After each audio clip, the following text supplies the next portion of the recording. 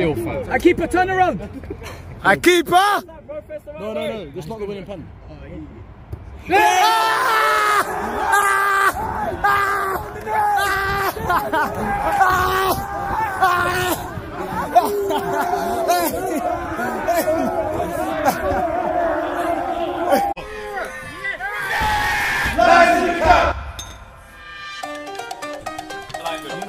pen.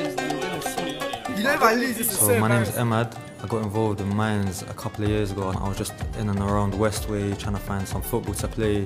And then Tarek and Paul, they introduced me to their session. So throughout the years we've just been working. He's bringing more people in. It's a mental health club. I was in a dark place and it's true football and true opportunities where Minds United created open spaces where I feel more comfortable expressing my feelings. It's just a really close bunch of people. I feel like